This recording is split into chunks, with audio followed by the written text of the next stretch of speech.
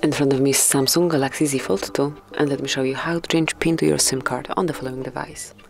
So at the very beginning you have to open list of all apps, then go to the settings, scroll down and reach uh, biometrics and security.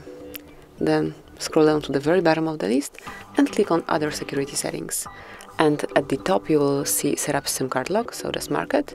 And now you can smoothly change your PIN by tapping on change SIM card PIN. And now enter the current one, tap on OK, and it's time to provide your device with a new PIN. So let me enter, for example, 2580, then re-enter it to confirm, tap on OK, and that's it. As you can see, it has been changed. So that would be all. This is it. Thank you for watching.